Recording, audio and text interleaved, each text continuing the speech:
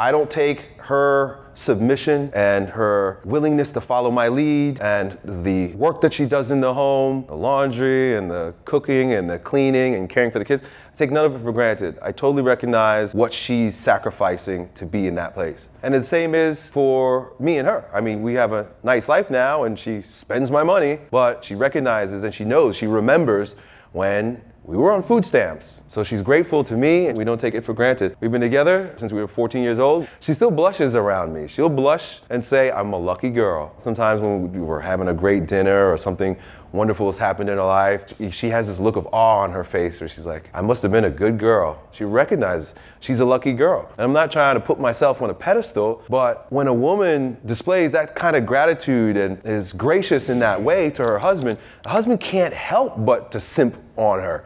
Can't help but to like, wow. Men want to be respected